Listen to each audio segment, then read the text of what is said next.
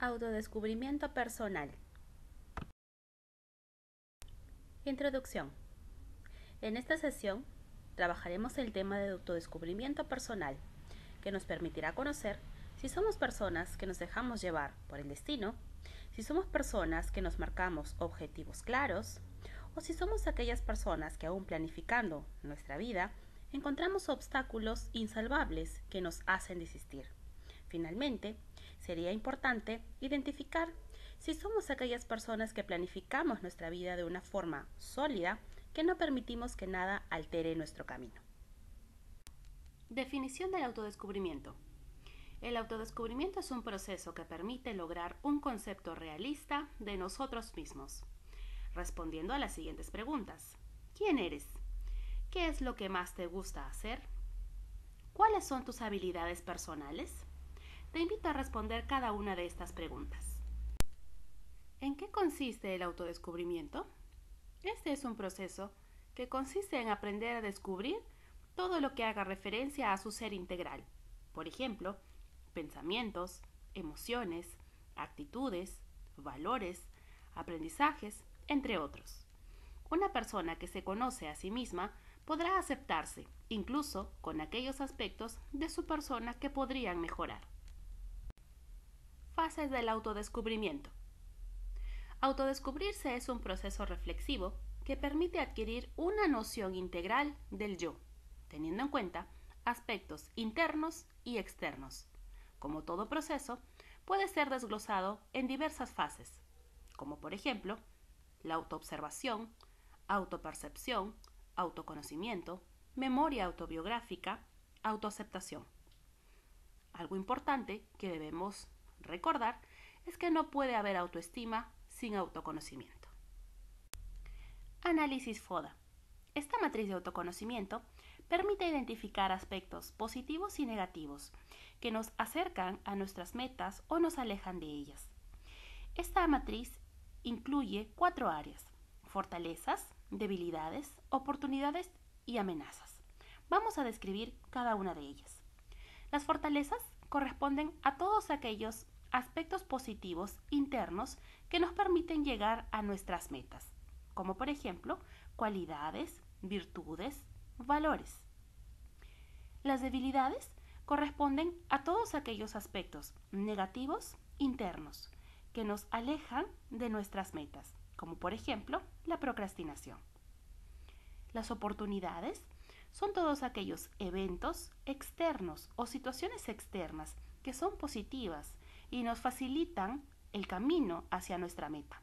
Por ejemplo, participar de un convenio de beca.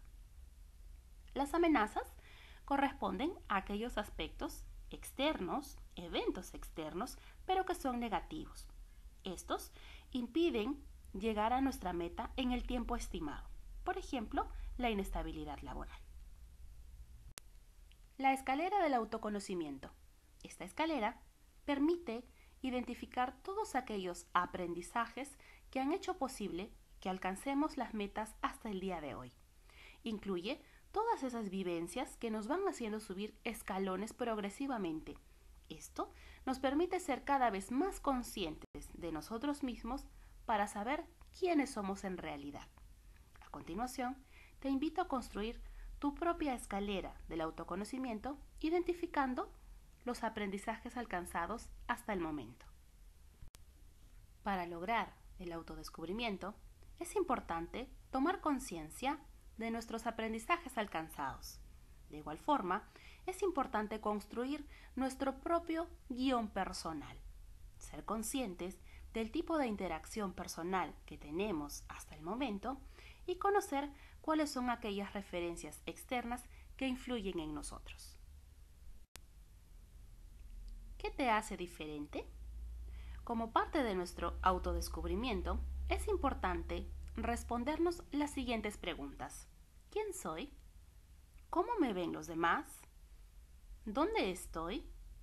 ¿Cómo he llegado hasta ahí? ¿A dónde quiero llegar? ¿Cómo puedo llegar ahí? Todas estas respuestas van a ir construyendo nuestra marca personal, parte de nuestro autodescubrimiento. Guión de tu vida. Uno de los elementos del autodescubrimiento es el guion de vida. Para ello, podemos considerar los siguientes elementos. Primero, responder a la pregunta ¿quién soy yo? Para ello, debemos incluir aspectos que nos permitan destacar, construir credibilidad en los demás y generar empatía. También, responder a la pregunta ¿para qué estoy aquí?